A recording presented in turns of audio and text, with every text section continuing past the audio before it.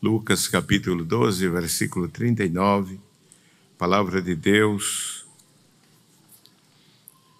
nos diz: Sabei, porém, isto, se o pai de família soubesse a que hora havia de vir o ladrão, vigiaria e não deixaria minar a sua casa. Amém, meus irmãos? Meus amados irmãos, estas são palavras do Mestre Jesus e nosso Senhor Jesus Cristo na parábola do servo vigilante. E nós em, tomamos este texto durante esses dias, esses dois estudos, para meditar sobre a responsabilidade que nós como líderes do lar, como os pais, temos em vigiar como um atalaia o nosso lar, a nossa casa. Casa que estamos tomando no sentido que Josué falou, quando ele diz: Eu e a minha casa serviremos ao Senhor.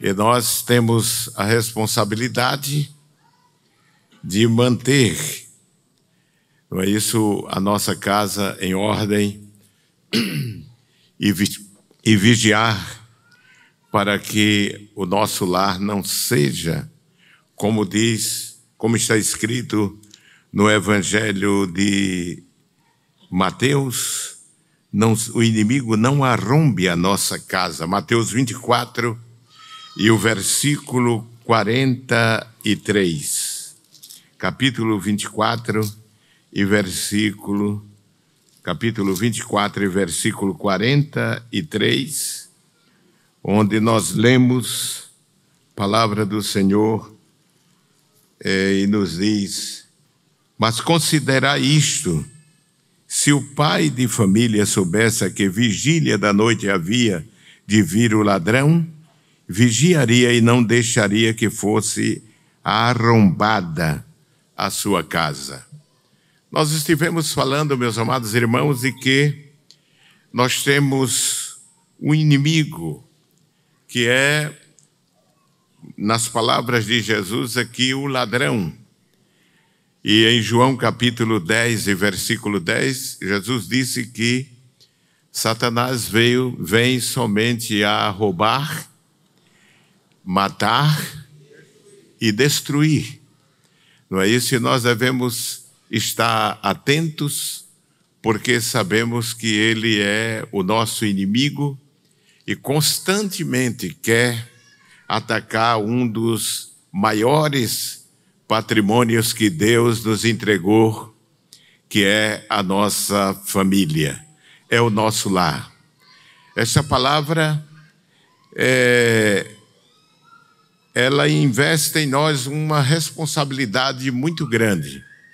O compromisso de velar, de cuidar pela nossa casa, porque um dia o Senhor vai pedir contas.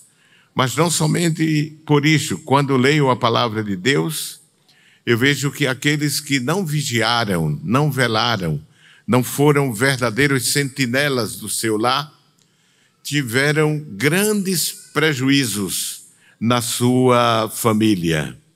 Porque quando deixamos de cuidar, de velar pelo nosso lar, pela nossa família, pelos nossos filhos, não é isso? Pelo nosso matrimônio, nosso casamento, os prejuízos são grandes, não é isso? Há todo um efeito é, é, bumerangue, não? Ele vai, o nosso descuido fará com que colhamos, é, tenhamos uma colheita desagradável no futuro. Nós estivemos falando, meus amados irmãos, aqui que o ladrão, como está em João capítulo 10, versículo 10, é o diabo. E os pais devem vigiar como verdadeiros atalaias, assim como o atalaia tinha a responsabilidade não, isso era uma função é, que alguns homens escolhidos exerciam, eles ficavam, as cidades antigamente eram é, cercadas por muros e tinha um portão. E para evitar que o inimigo pegasse de surpresa, a palavra de Deus nos mostra que um homem era escolhido para que ficasse na posição de atalaia em uma torre, velando para que o inimigo não surpreendesse a cidade. Está escrito no livro de Ezequiel que se a cidade fosse tomada de surpresa é, e o sangue dos habitantes da cidade fosse derramado, é, o sangue daquelas pessoas seria requerido justamente do sentinela, do atalaia, que não teve o devido cuidado para avisar do eminente perigo, da proximidade do inimigo, não é isso? Do, da proximidade do inimigo que vinha para arrombar a porta da cidade e destruir. Assim é a nossa responsabilidade, o nosso compromisso, não é isso? ter um lar, casar, ter um lar, ter filhos, é uma grande responsabilidade. A palavra de Deus nos diz que os filhos são herança do Senhor. Essa palavra, ela não serve somente para os pais que aqui estão, mas é bom que os filhos atentem para a responsabilidade que os seus pais têm e que é, é, facilitem para que os seus pais possam exercer essa responsabilidade no lar com destreza, cumprindo aquilo que Deus estabeleceu sobre cada um de nós. Ora, nós falamos aqui é, de dois homens, Abraão e Ló, um velando a porta da cidade e outro a porta da sua tenda. E falamos do que representa essa postura daqueles dois homens. Mas nós queremos adiantar o nosso estudo, é? falando, entrando em um segundo ponto, segundo tópico, que é devemos ter consciência de que o mundo onde vive a nossa família é um mundo permeado de perigos. A nossa família, ela não vive não é isso? Num lugar seguro. Ela vive em um lugar inseguro, que é este mundo corrompido.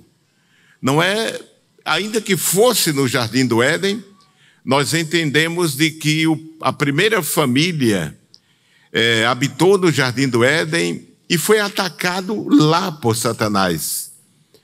E se ele vivia naquele habitat onde Deus havia criado e colocado, aquele lugar original onde Deus havia posto, e ali mesmo o inimigo atacou, imagine é, a nossa família que habita, que vive em um mundo que é adverso, em que constantemente os nossos filhos, a nossa casa está sendo atacada espiritualmente pelo inimigo das nossas almas.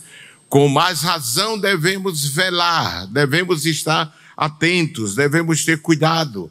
E é por isso que nós encontramos na Bíblia o exemplo de homens que velaram pela sua casa, que tiveram o devido cuidado. É, nós chegamos a citar aqui o exemplo de Jó, não é isso? Que sabia que os seus filhos podiam pecar.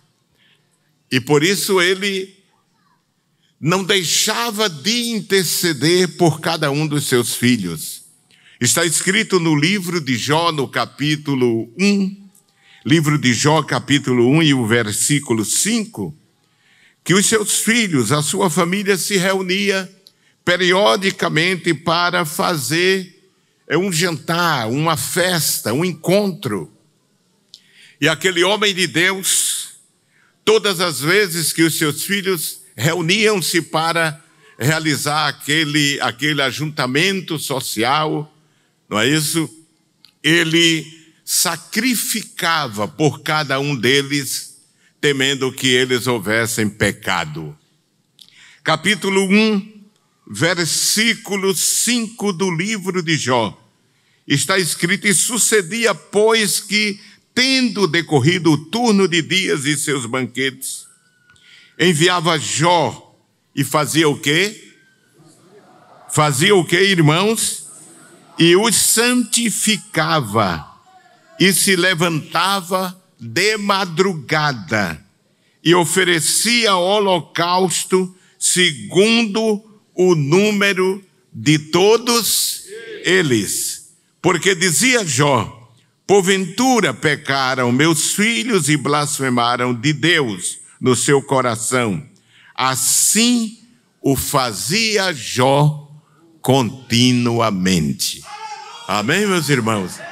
Ele velava continuamente pela sua família. Ele tinha o devido cuidado de velar quando os seus filhos realizavam aquela é, aquele encontro social, e é claro que ali eles se divertiam, por certo havia música, havia práticas que pudessem é, ofender a sensibilidade santa de Deus. E Jó tinha aquele cuidado de oferecer sacrifício por cada um, diz a palavra de Deus, para que o Senhor tivesse misericórdia e perdoasse. É feliz o pai e a mãe que tem essa consciência de velar, de jejuar pelos seus filhos, pela sua família, para que Deus os guarde, para que Deus os proteja, para que o Senhor livre dos laços malignos e que eles possam permanecer firmes no caminho do Senhor. Nós poderíamos citar aqui outros exemplos, mas para ganharmos tempos, tempo, digo, vamos avançar mais adiante. Como eu dizia, nós vivemos um mundo pleno, repleto de impureza. Constantemente a nossa família está é, povoando, habitando, é, convivendo com ambientes que são carregados de pecado, de iniquidade, de corrupção que domina este mundo. Talvez seja forte para as pessoas que não entendem a palavra de Deus dizer de que o apóstolo afirma na palavra, ele diz que o mundo jaz no maligno. Ele está dizendo que o mundo está dominado por Satanás. É forte isso, mas é uma verdade bíblica que nós não podemos negar. Amém, meus irmãos? O inimigo está influenciando. O apóstolo São Paulo, escrevendo aos Coríntios, diz que o inimigo fechou, cerrou o entendimento, fechou o entendimento dos homens para que eles não compreendam a verdade do Evangelho de nosso Senhor e Salvador Jesus Cristo. E nós, como pais, devemos velar, ter um cuidado, não é? Nós vamos citar, se chegarmos a esse ponto, alguns casos aqui que, por motivado pelo descuido dos pais, a família enfrentou um prejuízo mortal, letal, trazendo grande tristeza e vergonha para os pais. O mundo, como eu disse, não é um ambiente de santidade. A palavra de Deus nos mostra que é um ambiente corrompido espiritualmente e inimigo de Deus. Não é difícil de distinguir, distinguir isso, de que o mundo não é amigo de Deus, porque se fosse, obedecia a Deus procurava fazer as coisas que agradassem a Deus. Mas o mundo é oposto a Deus. E é nesse mundo que a nossa casa, que a nossa família habita. E isso exige que tenhamos o devido cuidado de velar, de ser um verdadeiro atalaia e sentinela da nossa casa, porque esta responsabilidade foi incumbida pelo Senhor a nós. Amém, meus irmãos? a nós, os pais. Está escrito em Tiago, no capítulo 4 e o versículo 4, se você abrir a sua Bíblia, logo depois do livro de Hebreus, no capítulo 4 e o versículo 4, meus amados irmãos, onde o apóstolo diz assim: adúlteros e adúlteras, na versão atualizada diz infiéis, não é? Diz: Não sabeis vós que a amizade de que, irmãos? Do mundo é o que? Inimizade contra Deus. Portanto, qualquer que quiser ser amigo do mundo, constitui-se o quê? Inimigo de Deus. Não é? E quando é que nós somos amigos do mundo? É quando nós nos submetemos ao mesmo jugo. Vivemos praticando as coisas que o mundo pratica. Vivemos da mesma forma que o mundo vive. As pessoas do mundo, nós não devemos ser inimigas das pessoas do mundo, mas o que devemos é, ter cuidado é de não viver como eles vivem e não concordar com os pecados que eles praticam. Amém, meus irmãos? Viver de forma diferente, porque nós somos filhos de Deus. Então, o mesmo apóstolo exorta a que tenhamos cuidado, a que nos guardemos da corrupção do mundo. Esse termo corrupção significa putrefação moral e espiritual, depravação, perversão. É isso que significa a palavra corrupção nas Escrituras. Tiago, capítulo 1, nesse mesmo livro onde nós vemos, versículo 27, nós vemos assim: a religião pura e imaculada para com Deus, o Pai é esta: visitar os órfãos e as viúvas nas suas tribulações. E o que mais, irmãos? E guardar-se da corrupção do mundo. Amém, meus irmãos? Guardar-se da sujeira do mundo, da putrefação do mundo das práticas que são desagradáveis a Deus do mundo. Nós temos que nos proteger delas. Nós temos que proteger a nossa mente, os nossos olhos, as nossas atitudes, porque nós já nascemos de novo, somos nova criatura, somos povo de Deus e precisamos viver, meus queridos irmãos, de forma diferente. Quem diz amém? Vocês estão entendendo? Diga amém.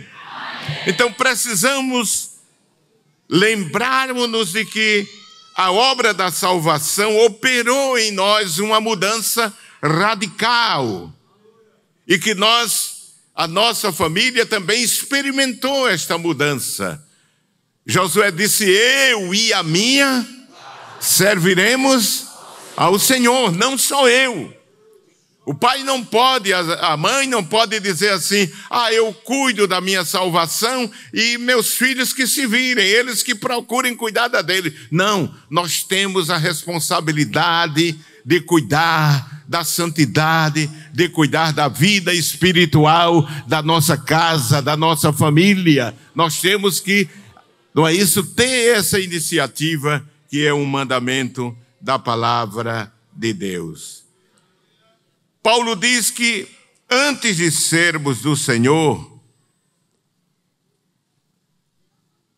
na outro, no outro tempo, em outra época da nossa vida, nós andamos segundo o curso do mundo. Ou seja, andávamos na correnteza mundo aí, quer dizer, esse sistema imundo, corrompido.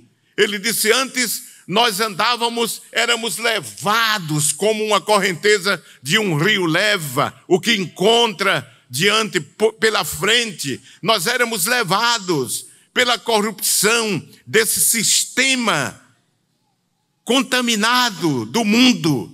Mas graças a Deus, que a misericórdia de Deus nos alcançou e nos tirou deste mundo, desta correnteza, nos salvou desta correnteza. Amém, meus irmãos?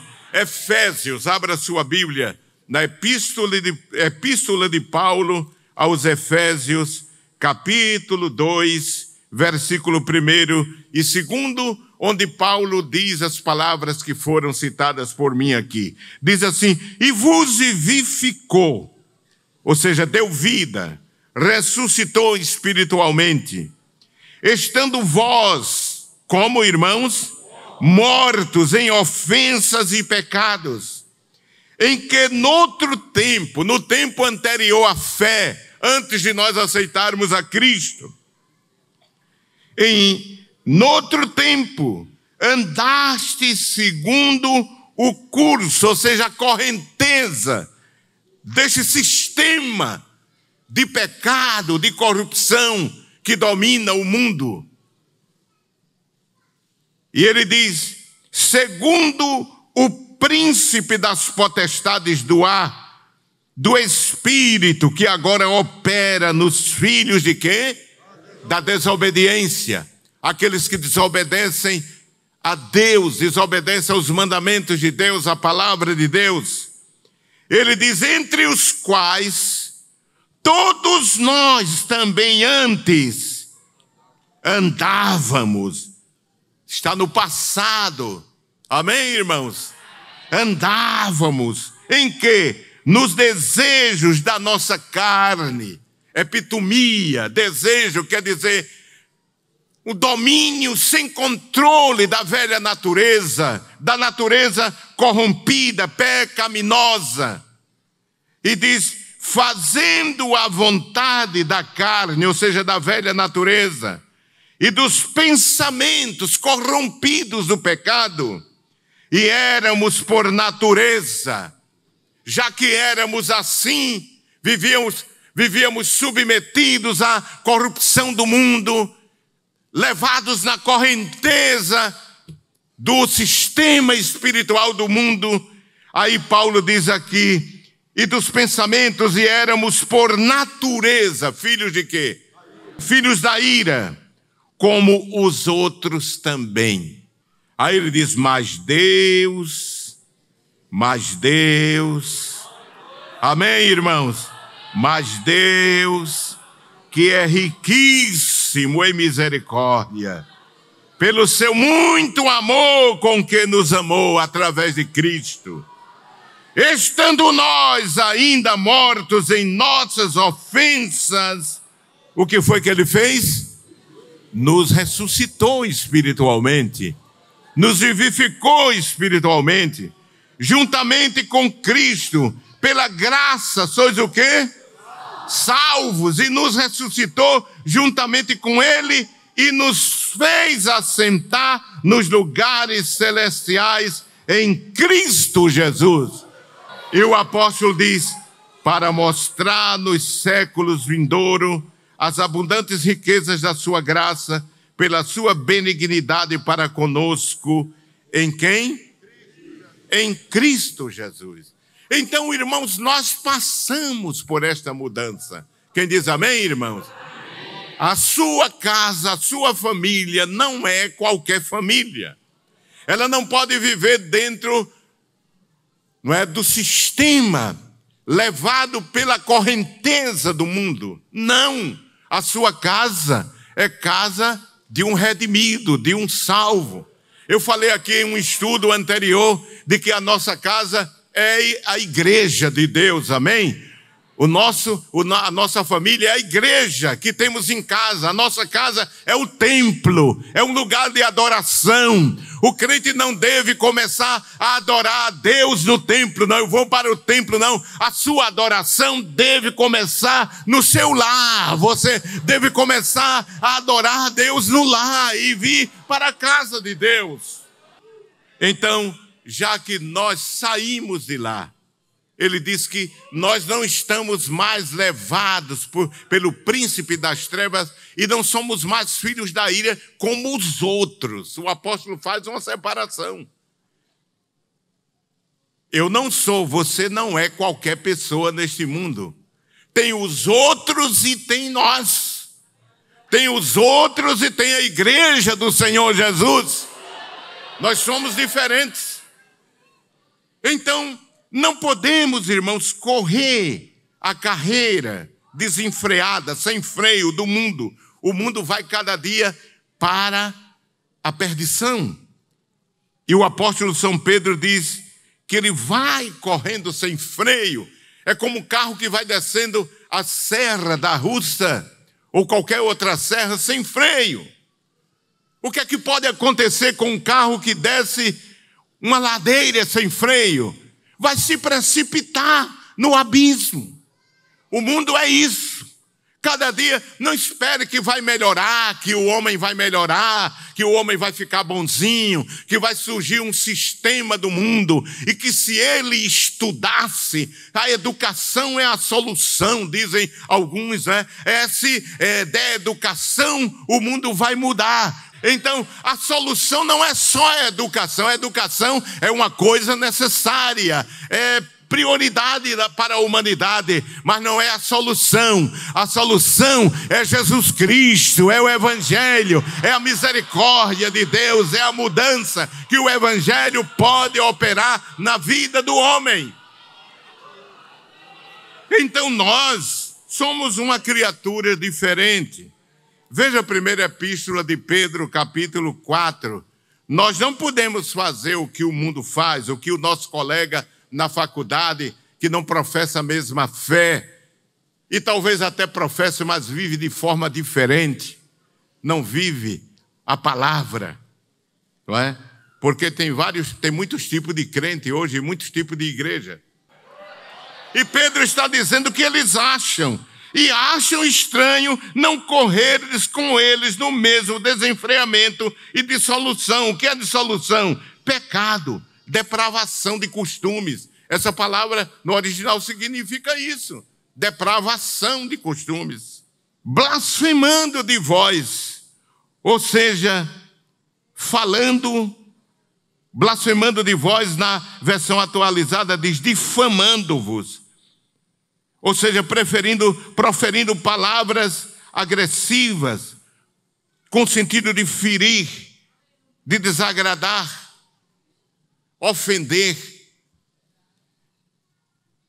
Porque, ainda que blasfemem contra nós, vão dar contas a Deus no juízo, sim ou não, irmãos? Veja o versículo 5: diz: E quais hão de, os quais hão de dar conta a quem? Ao que está preparado para julgar os vivos e os mortos. Deixa eles, eles vão dar conta ele, eles vão dar conta daquilo que mentindo diz contra nós. E ele vai ainda muito adiante e diz que sofremos perseguição por essa postura de santidade. E o apóstolo diz que o mundo vai nos perseguir. Veja aí, no mesmo capítulo 4, versículo 12, ele diz assim: o apóstolo diz assim, 4 e 12 diz: Amados, não estranheis a ardente prova que vem sobre vós para vos tentar, como se coisa estranha vos acontecesse. Mas alegrai-vos no fato de serdes participantes das aflições de Cristo, para que também na revelação da sua glória vos regozijeis e alegreis. Se pelo nome de Cristo sois vituperados, bem-aventurados sois, porque sobre vós repousa o Espírito da glória de Deus. Que nenhum de vós padeça como homicida, ou ladrão, ou malfeitor, ou como o que se entremete em negócio alheios. Mas se padece como cristão, não se envergonhe, antes glorifique a Deus nesta parte, porque já é tempo que comece o julgamento pela casa de Deus. E se primeiro começa por nós, qual será o fim daqueles que são desobedientes ao Evangelho de Deus? E se o justo apenas se salva, onde aparecerá o ímpio e o pecador? De forma que o sofrimento, não é isso? É uma coisa já prevista nas Escrituras. E nós devemos sofrer com contentamento, com alegria. Quem diz amém, irmãos? Amém. Com alegria. Paulo escreve aos cristãos de Éfeso e mostra que a santidade cristã é oposta aos costumes do povo do mundo. Se nós nós estamos aqui, Jesus disse assim: "Pai, não peço que eu os tire do mundo, mas o que foi que ele disse? Mas que os livre do mal, os proteja do mal. Amém, meus irmãos? É? O, o crente é como é como a arca, não é? Está no dilúvio, mas o dilúvio não entra, não entra nela. O dilúvio entrava na arca? Não.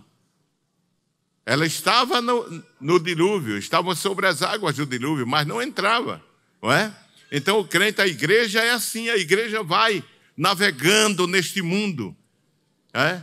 neste mundo de abismo, de juízo. É? é claro que a igreja tem seus problemas.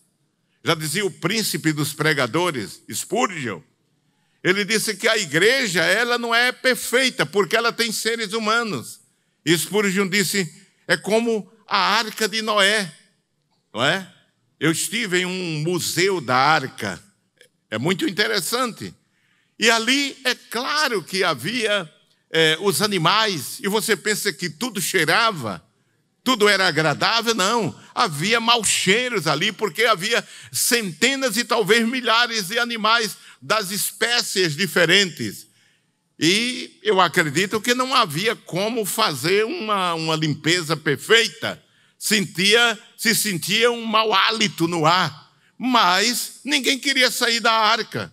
A família de Noé não queria sair da arca. E quem estava no lado de fora batia na arca para entrar porque era mais seguro estar dentro. A igreja, ela tem suas falhas, as pessoas têm seus defeitos, mas é melhor aqui dentro. Aqui dentro está o povo de Deus. Não há saída. Não é? Com todas as dificuldades, tem gente que não quer mais ser crente. Vai para ir para fora para tu ver como é a coisa. Se aqui tu estás sofrendo, lá, lá fora tu vai morrer. Lá tu vai morrer sozinho. Aqui Jesus está do nosso lado, ainda que tenha falhas e defeitos. Ainda que tenha falhas e defeitos. Porque no Novo Testamento não há nenhuma igreja perfeita. Todas as igrejas tinham seu problema. Não é? Agora cada um tem que fazer força para entrar no reino de Deus.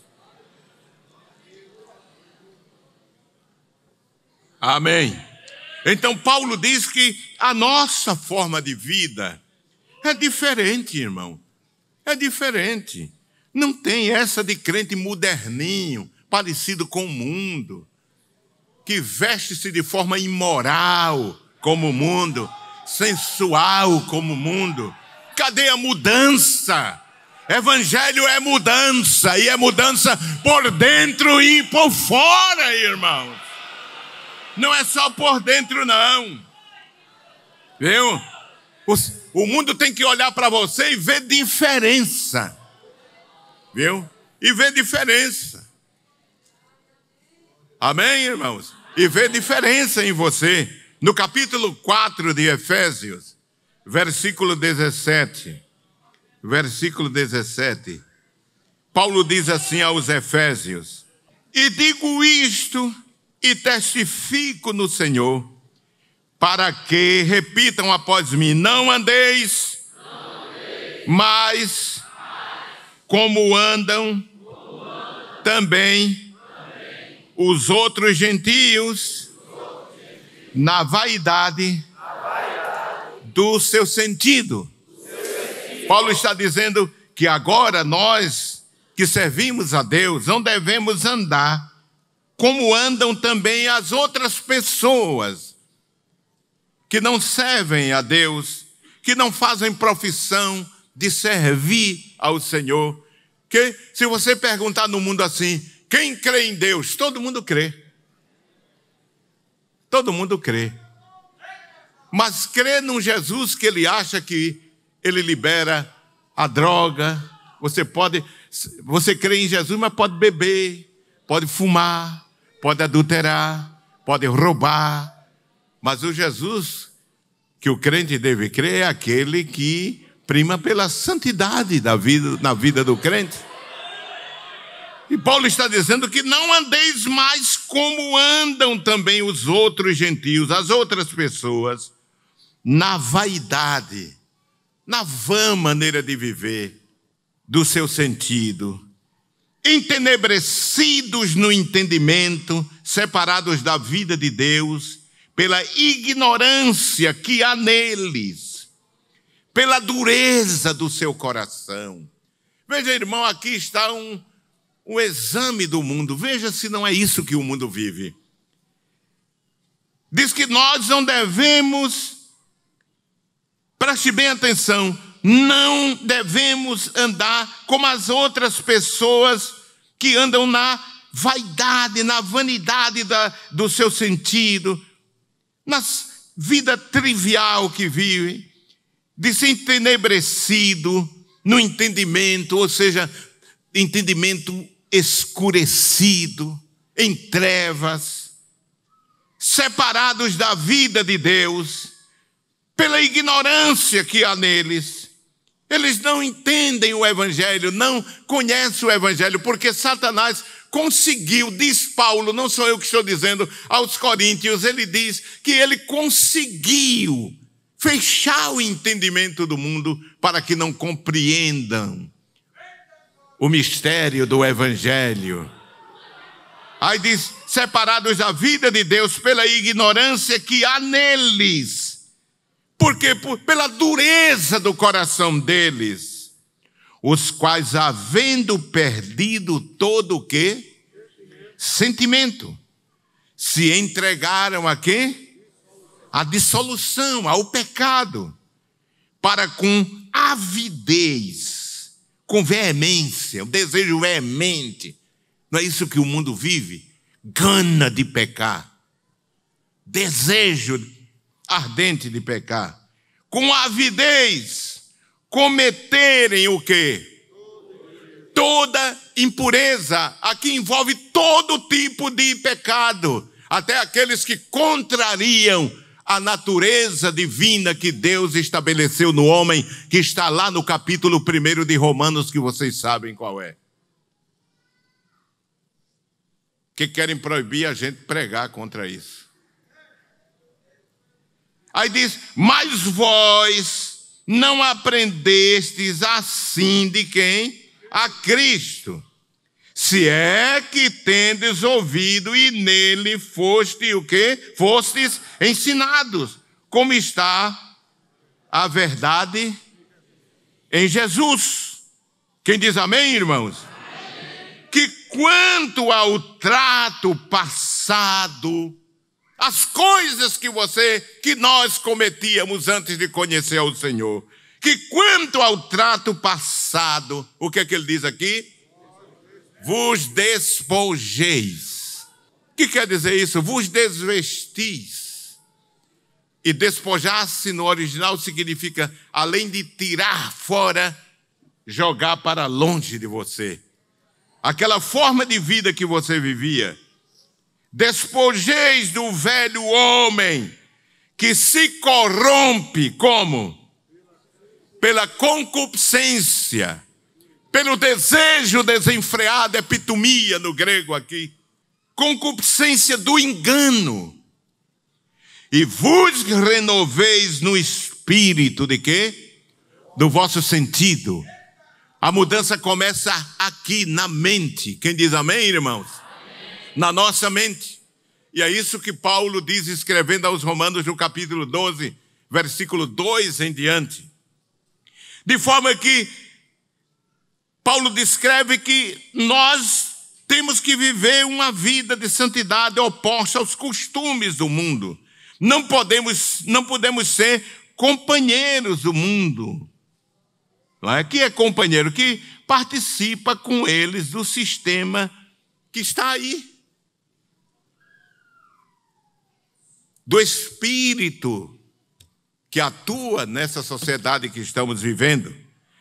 Abra ainda a Bíblia, capítulo 5 de Efésios, versículo 7. 5 e 7 de Efésios.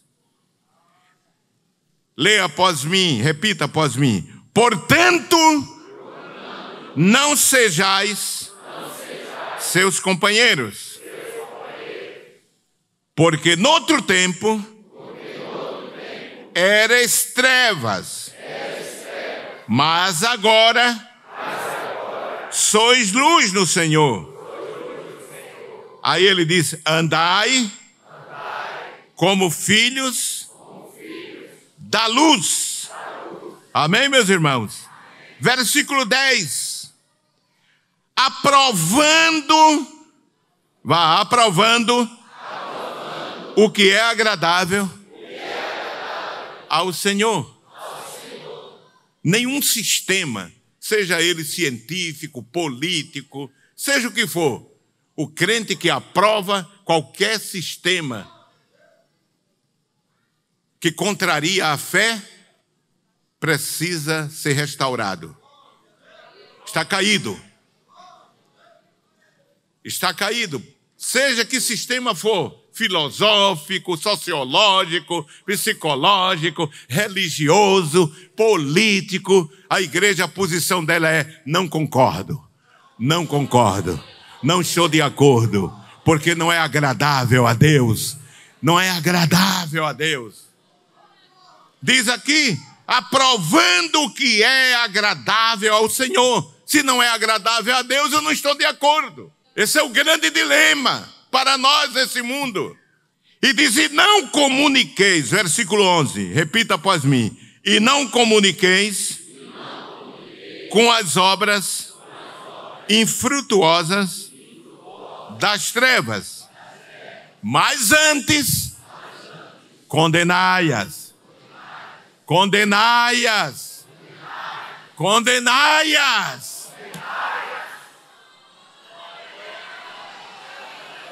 Não comuniqueis, significa no original, não participeis. Não tenha comunhão. Amém, meus irmãos? Não tenha comunhão. O 12 diz: porque o que eles fazem, diga, repita, porque em oculto, até dizê-lo, é torpe, é vergonhoso. Você já, já pensou o que eles praticam no oculto? Aí diz o versículo 13: Mas todas essas coisas se manifestam, sendo condenadas pela luz, porque a luz tudo manifesta. Amém, meus irmãos? Você sabe por que há pessoas no mundo que nos aborrecem tanto? É porque a nossa presença declara juízo na consciência deles. Só a presença já é juízo na consciência deles. O versículo, 3, o versículo 14 diz assim: Pelo que diz, desperta, ou tu que dormes e levanta-te dentre o quê? E Cristo, portanto, vede, repitam, portanto, vede, prudentemente, como andais, ou como vivei, não é? O apóstolo quer dizer.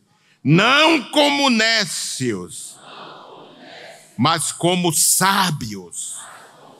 E ele diz aqui: remindo o tempo. Não perca tempo. Aproveite as oportunidades, aproveite o tempo. Porquanto os dias são o que, irmãos? São maus. Amém? São maus. Não perca tempo com coisa que não traz edificação para a sua vida. A igreja que estava na cidade de Corinto, uma cidade extremamente corrompida, tanto no aspecto religioso, moral, em todos os aspectos. É? Era uma cidade que poderíamos dizer uma encruzilhada para onde atravessavam para o outro lado do mar, para o outro lado do continente, no istmo da Acaia atravessavam para evitar que tivesse que dar toda a volta pelo Mediterrâneo. E Corinto, por essa posição geográfica, se tornava é, uma cidade importante e que tinha uma é, heterogeneidade de religiões, de moralidade, todos os aspectos. E a igreja habitava aí, a igreja vivia aí. Um sincretismo religioso terrível. E Paulo é veemente na advertência para que os crentes não se misturassem com os incrédulos. O último texto que eu vou citar esta noite, 2 aos Coríntios, capítulo 6.